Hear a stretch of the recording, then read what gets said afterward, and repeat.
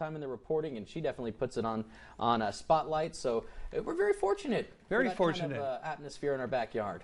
Yeah, it's good to report on agriculture because it is a huge staple in, in the desert Southwest, especially where we are down here. And that was a very nice knife that you got Yeah. there too, April. Even engraved with her name on Not it. Not only on the handle, because she had brought it into the newsroom uh, right before the newscast here, it's on the blade as well. And it says April Henninger on the back side. It says Yuma County Farm Bureau, has the logo on it.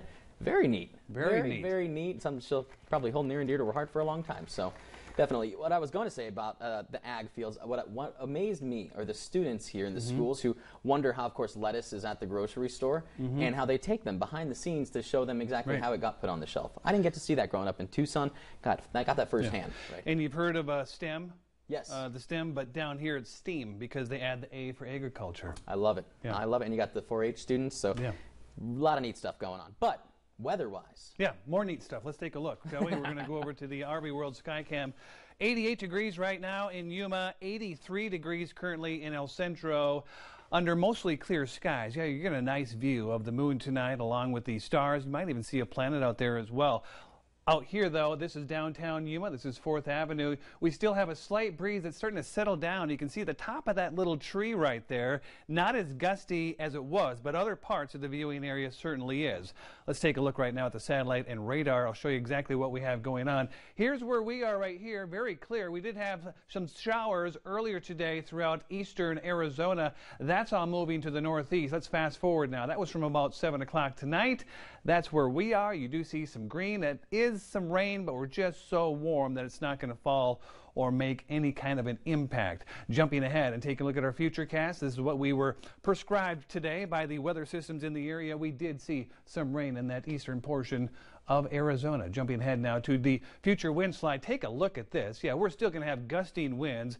Light right now throughout Yuma County, but you saw Ocotillo over there with the gusting winds. And look what happens tomorrow just after dinner time. More gusty winds coming through the area, and then they're going to start to settle down as we get into Friday morning. What is that doing to our air quality index? It's brought to us by the Imperial County Air Pollution Control District.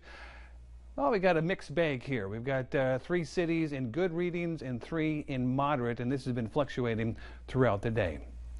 Current temperatures throughout the area look like this throughout Imperial County 85 in Salton City, 82 in Imperial, 83 in El Centro. Holtville still warm at 87 degrees. And across the county and state line, we'll skip into Arizona and Yuma County, 87 now in Yuma, along with the foothills. San Luis is at 88 and Somerton at 87. Here's a nice cool photo to help you cool off. This was sent in by Gabby Venegas. This is at Martinez Lake. Look how clear the water is on this. You can see the reflection of the mountains and the trees out there. Just a fantastic photo. Gabby said they were out fishing.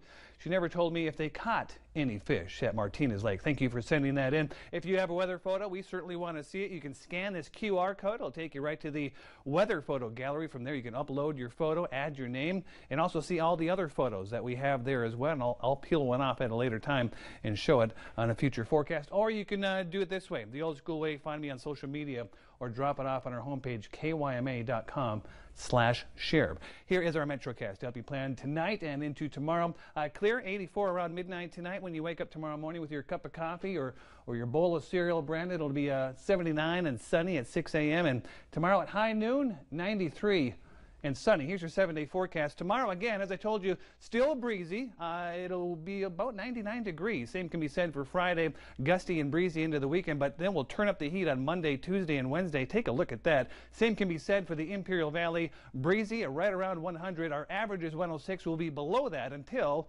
Monday and Tuesday and Wednesday. Will be much, much hotter.